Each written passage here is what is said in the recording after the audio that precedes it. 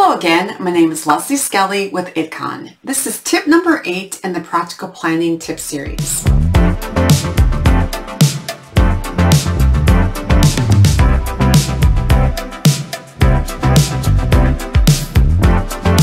When performing job package audits at client sites, I'm amazed at all the forms and formats used within an organization. This causes confusion amongst the technicians. In today's environment, many organizations are short technicians or have many new hires. It is imperative that your organization define the basic elements of a job package to ensure the consistency.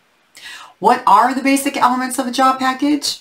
Safety and environmental related issues, permits and procedures, detailed job tasks or operations, required trade skills, assigned labor estimate, parts and materials, tools and equipment, and of course, a copy of the work order.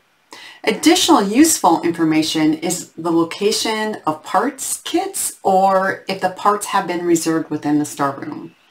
Once again, these are the basics. Within your organization, define these elements. Yes, there are a lot of variables such as how organized your technical database is.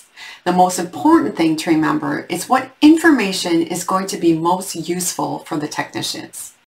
Set the expectations with the planners, conduct spot checks, and once you have consistency, add additional detail as necessary. Visit idcon.com for more detailed information on planning.